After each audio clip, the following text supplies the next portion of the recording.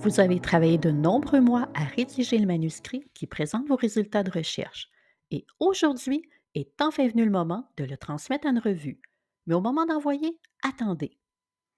Ayez en tête que la version révisée de la politique de diffusion en libre accès impose de nouvelles exigences à la plupart des octrois accordés depuis 2023. En fait, il faut vérifier trois éléments principaux. Regardons de quoi il s'agit. D'abord, la revue doit vous permettre de rendre disponible votre texte en libre accès immédiat. Il ne doit donc pas y avoir de délai pour accéder librement à votre texte après sa diffusion par une revue. Deuxièmement, la revue doit vous permettre de diffuser votre texte sous une licence ouverte. Il peut s'agir de la licence Creative Commons BY, BYND ou encore d'une licence équivalente. Finalement, si vous publiez dans une revue abonnement, il existe certaines restrictions sur la dépense de publication. Si votre texte est diffusé en libre accès en échange de frais de publication, ces frais pourront être payés avec le financement obtenu des FRQ si votre manuscrit est soumis à la revue avant juillet 2025 et si vous êtes dans l'une de ces situations. Vous publiez dans une revue en transformation ou en vertu d'une entente de transformation. Maintenant que vous connaissez les trois éléments à vérifier, vous vous demandez sûrement comment le faire. Examinons les outils à votre disposition.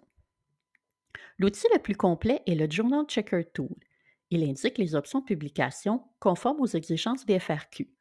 En précisant le titre de la revue, l'organisme de financement et l'institution de rattachement, vous connaîtrez les options possibles, soit le libre accès offert via la revue, l'auto-archivage dans un dépôt les revues en transformation ou les ententes de transformation.